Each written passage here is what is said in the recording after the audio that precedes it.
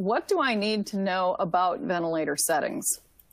Well, I'm going to help you identify what the basic ventilator settings are, what your orders might sound like um, for patients who have respiratory failure or ARDS.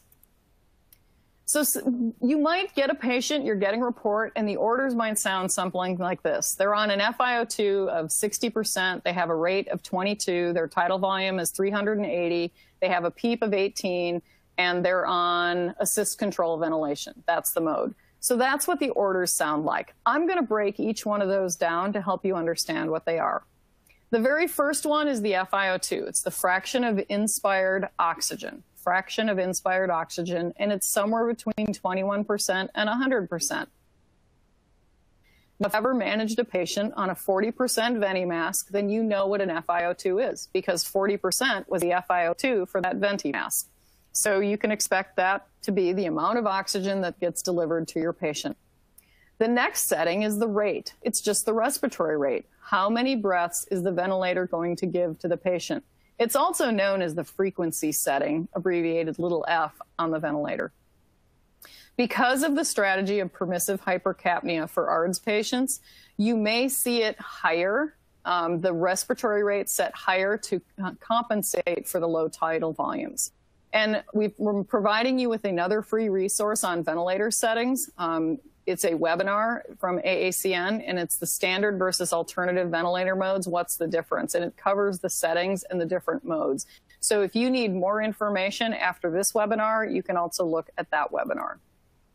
The tidal volume is the volume or size of the breath. So it's how deep or shallow you inhale or exhale. So what I want you to do right now is take a minute and breathe with me and take a big deep breath in and then let's exhale it. Do it one more time. It's kind of relaxing.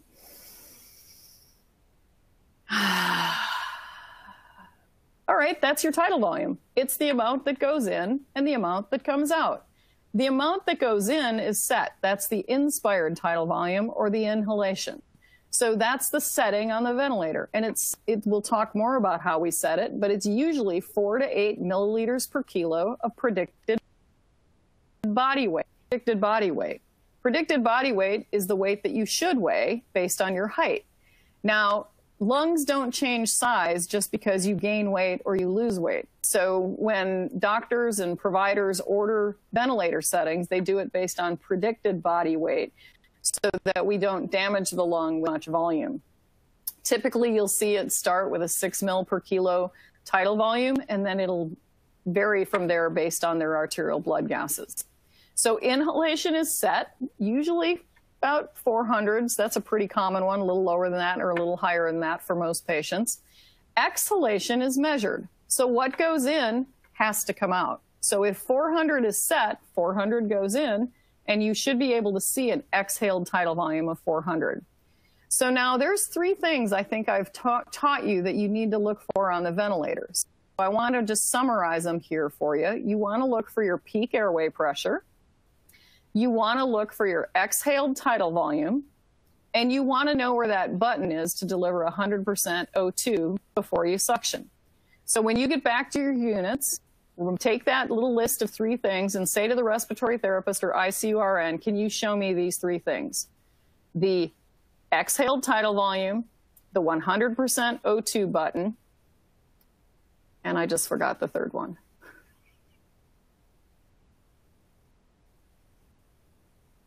I'm going to skip it. So they, they got it on the first one.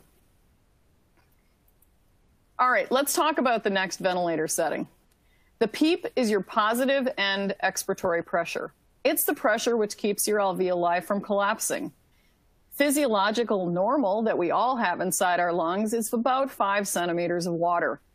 What does PEEP do? Well, PEEP helps oxygen get across that alveolar capillary membrane to improve your O2 sat, and your partial pressure of oxygen. Your O2 sat is the oxygen that's bound to hemoglobin, and your partial pressure of oxygen is the oxygen dissolved in plasma.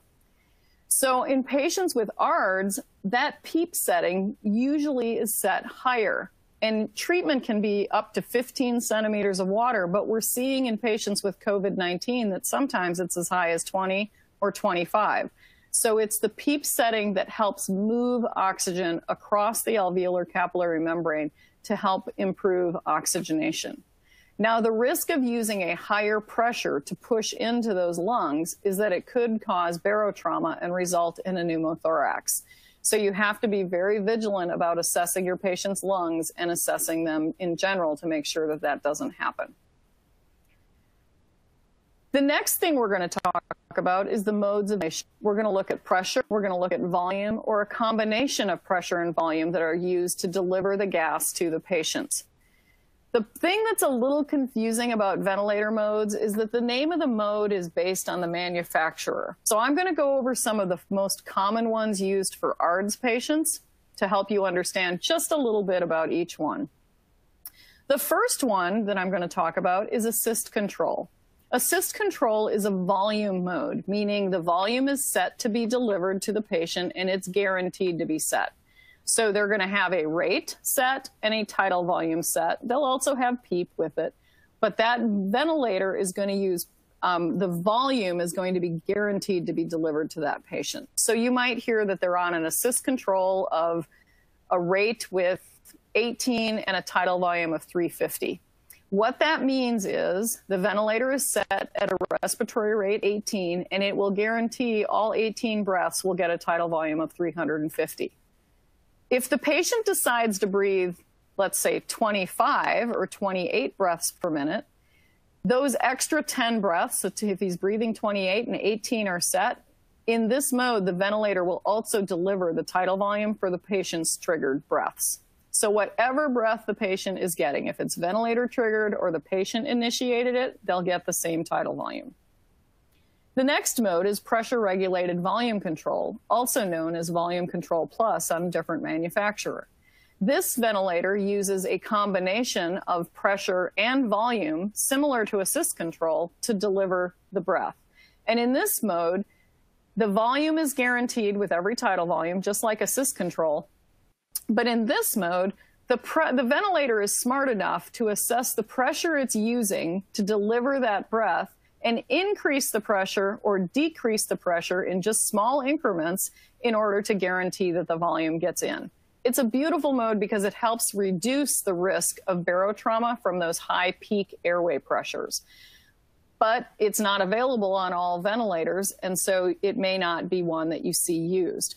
Airway pressure release ventilation is also not available on all ventilators, so you may not see this one used either, but it is commonly used for ARDS patients because it does not have as high of a risk of pressure injury or barotrauma.